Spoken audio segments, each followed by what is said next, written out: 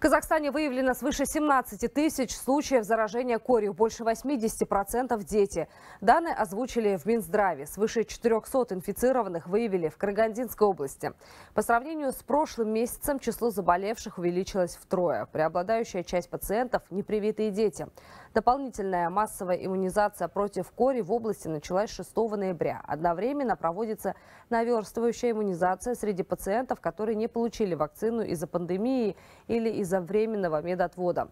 Рост заболеваемости медики наблюдают с июля, а пик пришелся на осень. Инфекция быстро распространяется в организованных коллективах. Если человек контактировал с заболевшим и не имеет прививки от кори, у него нет шансов не подхватить эту инфекцию. Поэтому вакцинация – самая надежная защита от заразной болезни, говорят врачи. За неполный месяц прививку от опасной инфекции получили свыше 8 тысяч жителей области.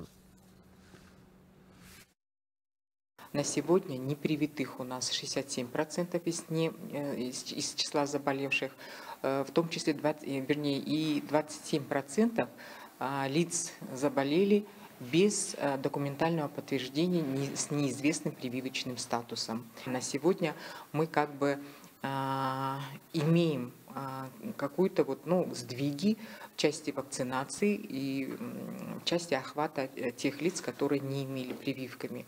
Но а, все-таки вот эта задача у нас стоит, как можно больше нужно охватить, и, конечно, в кратчайшие сроки. И эффект этот будет виден только через по истечении какого-то времени.